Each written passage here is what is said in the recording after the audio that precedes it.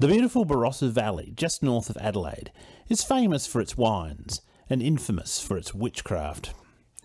The same Prussian, Wendish, and Silesian settlers who planted the vines also transplanted beliefs in the supernatural from the haunted heart of Europe.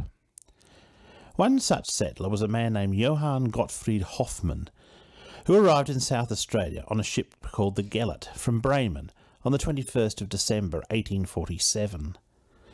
Gottfried, as he was called, was born on the 7th of May 1826.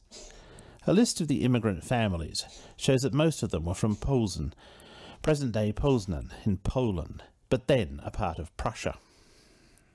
Gottfried and his family settled in the Barossa, near the town of Lyndoch. Tragedy struck when his brother Johann Gottlieb died aged 26 in 1850. Later that year, Gottfried married Henriette Christian, his brother's widow, a custom known as levirate marriage. By 1853, Jonathan and Mary Ann Ressel were neighbours of the Hoffmans in Lyndoch. Jonathan was a native of Eastoft, Lincolnshire. The couple had an adopted eight-year-old daughter named Mary Ann Kingston. On the 5th of November 1853, Mary Ann sent her daughter to ask Henriette Hoffman if they could have some butter. The girl returned and said that Mrs. Hoffman had told her to send her mother to see her. Mary went over and was astonished to be accused by Henriette of bewitching the Hoffmans' cow and pigs.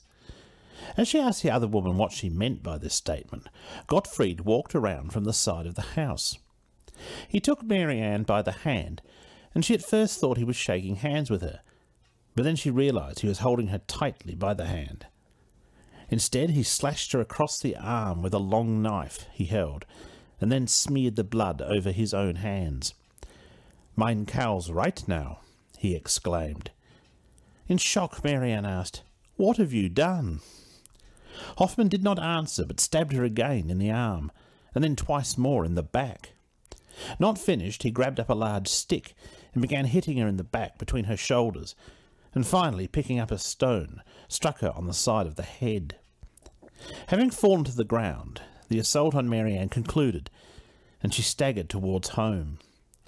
Glancing back, she saw Hoffman following her, holding a gun, but he made no effort to shoot her.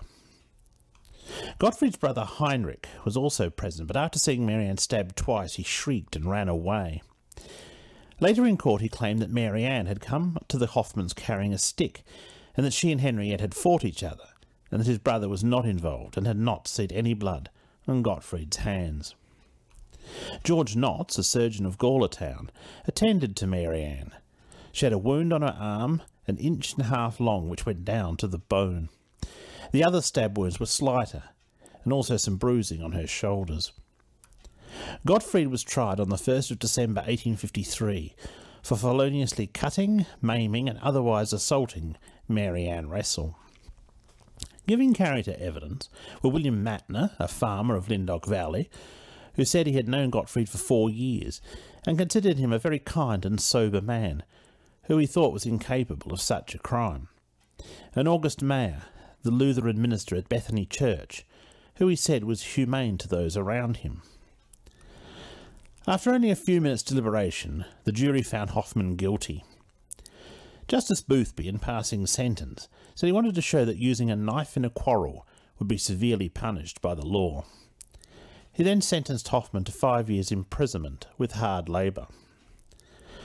On the 10th of December, the Adelaide Observer newspaper published an editorial about the matter, expressing disbelief that such superstitions still existed in 1853, an age of railroads, steamboats, and electric telegraph and cited the event as reason for ensuring that the children of the colony were provided adequate education to dispel such ignorance.